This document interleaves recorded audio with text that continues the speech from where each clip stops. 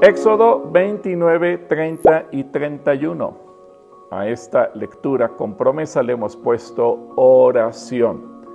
Mira, si tú vienes de un contexto religioso, tal vez te sembraron la semilla que la oración era una especie de penitencia o de castigo por haberte portado mal, pero en la Biblia entendemos, y más hoy vamos a entender, que la oración es una promesa porque es el medio de comunicación entre Dios y nosotros.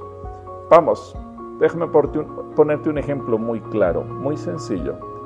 Es como si Dios te hubiera entregado un celular con el número directo a su presencia y te dijera, hijo, hija, todos los días quiero que me llames para charlar juntos, para que me digas qué quieres, cómo te sientes, qué te pasa, qué sueñas, etcétera.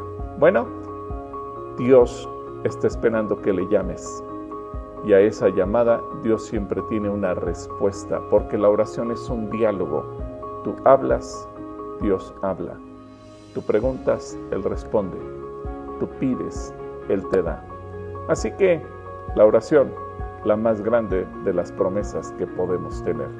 Que Dios te bendiga.